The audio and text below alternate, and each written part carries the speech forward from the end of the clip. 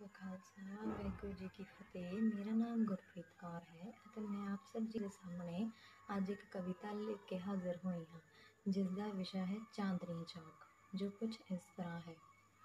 ਮੈਨੂੰ ਅੱਜ ਵੀ ਯਾਦ ਹੈ ਉਹ ਵੇਲਾ, ਮੈਨੂੰ ਅੱਜ ਵੀ ਯਾਦ ਹੈ ਉਹ ਵੇਲਾ, ਇੱਕ ਗਾਜ਼ੀ ਮਰਦ ਮੈਦਾਨ ਅੰਦਰ, ਜਿਹਦਾ ਸਿਰ ਉੱਚਾ, ਜਿਹਦੇ ਬੋਲ ਉੱਚੇ ਖੜਾ ਦਿਸਦਾ ਏ ਨੂਰੀ ਸ਼ਾਨ ਅੰਦਰ। ਤੇਗ ਜ਼ੁਲਮ ਦੀ ਜ਼ਾਲਮਾ ਸ਼ਾਨ ਲਾਈ, ਤੇਗ ਜ਼ੁਲਮ ਦੀ ਜ਼ਾਲਮਾ ਸ਼ਾਨ ਲਾਈ। ਉਹਦੀ ਧਾਰ ਨੂੰ ਖੁੰਡਿਆ ਕਰਨ ਖਾਤਰ ਦੀਵਾ ਧਰਮ ਦਾ ਆਖਰੀ ਸਾਹ ਗਿਣਦਾ।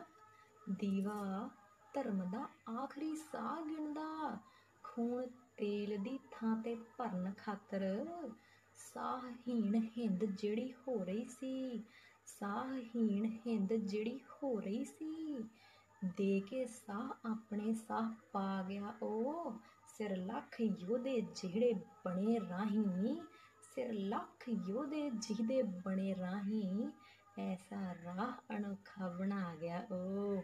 ਸਾਰੇ ਦੇਸ਼ ਨੂੰ ਠੰਡੜੀ ਛਾਂ ਆਵੇ, ਸਾਰੇ ਦੇਸ਼ ਨੂੰ ਠੰਡੜੀ ਛਾਂ ਆਵੇ ਬਣ ਰਹਿਮਤਾਂ ਦਾ ਬੱਦਲ ਵਸਿਆ ਓ ਬੁੱਲੀ ਹਾਸੇ ਮਲਜ਼ੂਮਾਂ ਦੇ ਰਹਿਣ ਸਦਾ, ਬੁੱਲੀ ਹਾਸੇ ਮਲਜ਼ੂਮਾਂ ਦੇ ਰਹਿਣ ਸਦਾ। ਮੌਤ ਵੇਖ ਕੇ ਸਾਹਮਣੇ ਹੱਸਿਆ ਉਹ ਸਿੱਖ ਸਾਹਮਣੇ ਜਦੋਂ ਸ਼ਹੀਦ ਕੀਤੇ, ਸਿੱਖ ਸਾਹਮਣੇ ਜਦੋਂ ਸ਼ਹੀਦ ਕੀਤੇ। ਭਾਣਾ ਮੰਨਿਆ ਮੂੰਹੋਂ ਨਾ ਬੋਲਿਆ ਓ ਭਾਵੇਂ ਲੱਖਾਂ ਡਰਾਬੇ ਔਰੰਗ ਦਿੱਤੇ ਭਾਵੇਂ ਲੱਖਾਂ ਡਰਾਵੇ ਔਰ ਰੰਗ ਦਿੱਤੇ। ਰਿਹਾ ਸ਼ਾਂਤ ਤੇ ਮਨੋਂ ਨਾ ਡੋਲਿਆ ਉਹ ਜਿਸ ਤੋਂ ਲੱਖਾਂ ਪਤੰਗ ਸ਼ਹੀਦ ਹੋਏ। ਜਿਸ ਤੋਂ ਲੱਖਾਂ ਪਤੰਗ ਸ਼ਹੀਦ ਹੋਏ, ਐਸਾ ਦੀਵਾ ਸਤਿਗੁਰ ਜੀ ਪਾਲ ਗਏ। ਬੂਟਾ ਧਰਮ ਦਾ ਸਦਾ ਹੀ ਟਹਿਕਦਾ ਰਵੇ, ਬੂਟਾ ਸਦਾ ਹੀ ਧਰਮ ਦਾ ਟਹਿਕਦਾ ਰਵੇ। ਸਿੰਜ ਖੂਨ ਆਪਣਾ ਪਾਲ ਗਏ।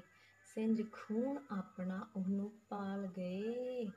ਧੰਨ ਗੁਰੂ ਤੇਗ ਬਹਾਦਰ ਸਾਹਿਬ ਜੀ। ਵਾਹਿਗੁਰੂ ਜੀ ਕਾ ਖਾਲਸਾ, ਵਾਹਿਗੁਰੂ ਜੀ ਕੀ ਫਤਿਹ।